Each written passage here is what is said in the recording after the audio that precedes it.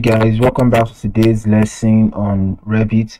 In today's lesson i'm going to teach us how to export our revit model down to etabs for analysis okay? So first thing we do is go to add-ins. Now before going to add-ins let me try and explain some other things. For example we have in inserts you can link a revit file. You can link ifc file cad file uh, dwf file topography and all these other files but for us to import sorry to, post to export to revit we need to go to add-ins then external tools so select it. Now so we are creating a new etab or save file so select this and what we've modeled so you can select this. So you can export to etabs version 17 or this or earlier you can select this also and click ok. So it's working you can see them they are being processed they are being processed now. So it's done already. Now please. Okay. So we choose a location we want and the name we want. So the it's going to be saved at .exr file. So we save. Yes so there's a warning. Please check log file for details. Okay so we'll check that later. So you can still see it in 3d to make sure what we are importing in revit is going to be the same thing without any tabs so realistic view.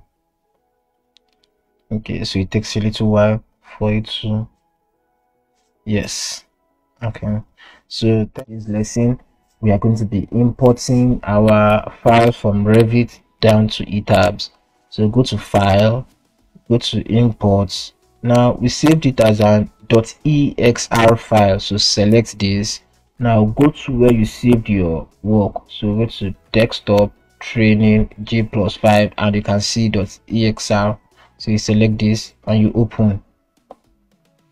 So it's telling you now total materials there's a warning and everything. You can decide to edit it if you want. You can see the default flow. You can decide to change this if you want but you change it later during the course of the video. So you can see all this minimum covenants maximum but we're not interested so you just click ok and imports so there are four warnings. So save is what you want to save. This is it. So now it saves as edb so you click save. Okay. okay now we can see the reason why this is here is because we didn't center when we are starting our job on um, revit we didn't start from the origin. But this doesn't really matter. It doesn't matter in any way.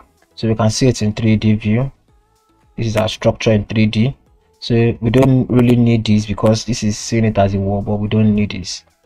So we can decide to delete it because it's not structural for us. So i go back to plan. I'm going to base apply click this okay. So select it. Select selector select and delete. So i have my delete. You can press delete on your keyboard select this also delete. So i can decide to highlight it and deselect. So come to select deselect object type column. So select this deselect column and delete.